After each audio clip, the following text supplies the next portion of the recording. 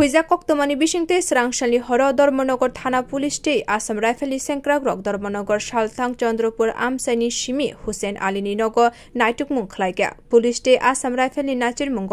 হুসেন আলীনি নগনি Simi twenty two point five gram ফেকজানাই মানি মানখা।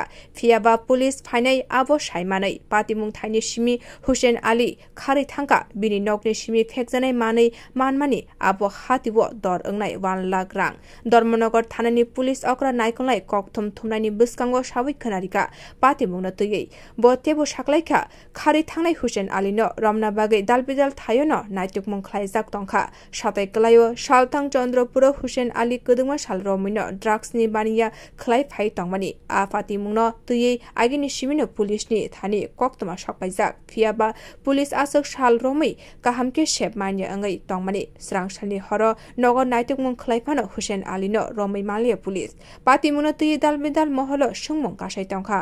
আজকে সন্ধ্যার সময় আমাদের কাছে একটা সিক্রেট ইনফরমেশন ছিল যে ওয়েস্ট চন্দ্রপুরে একটা বাড়িতে প্রচুর পরিমাণে ড্রাগস আছে।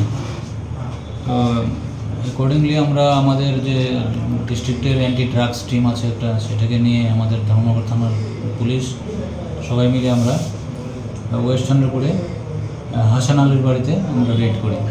আমাদের সঙ্গে এক্সিকিউটিভ ম্যাজিস্ট্রেট এবং আসাম রাইফেলসও ছিল। তো ওই বাড়িতে রেড করার পরে আমরা ওই বাড়ি থেকে দুইটা প্লাস্টিকের কেসের মধ্যে প্রচুর পরিমাণে ব্রাউন সুগার উদ্ধার করেছি। সাক্ষীগণের সামনে এগুলি ওজন করে দেখা গেল যে প্রায় twenty two point five gram heroin ওই প্যাকেটে আছে আর কি। স্যার কালোবাজারের মূল্য কত হতে পারে? বাজার মূল্য অনুমানিক এক লক্ষ টাকা হবে। কাউকে কি গ্রেপ্তার করেছেন? না না বাড়ির মালিক হোসেনালী পলাতক।